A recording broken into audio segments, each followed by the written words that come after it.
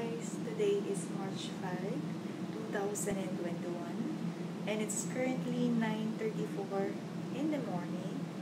So Saudi time tayo.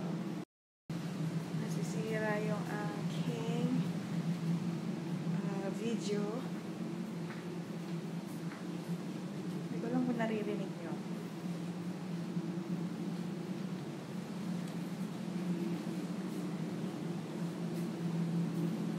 So, kumusta naman kayo?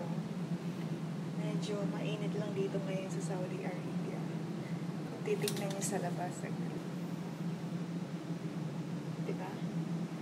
Sobrang init sa labas, as in sobrang init.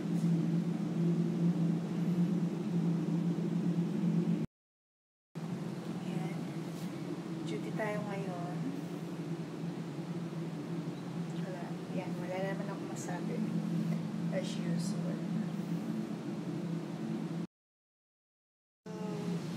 So, since naiinip tayo, punta tayo, puntahan natin si Ate Janet. Ayan. Ito yung reception namin. Ito si Ate Janet. Wala, nagbibideo lang. Loko! Kunwari, vlog-vlog lang tayo.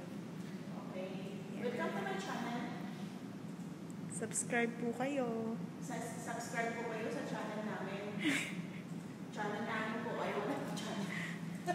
Sobrang inip lang. Yan. Sobrang inip. Video-video lang muna. Yan si ate na yan. Busy. Yan na. May pasyente na. Sige, mamaya na.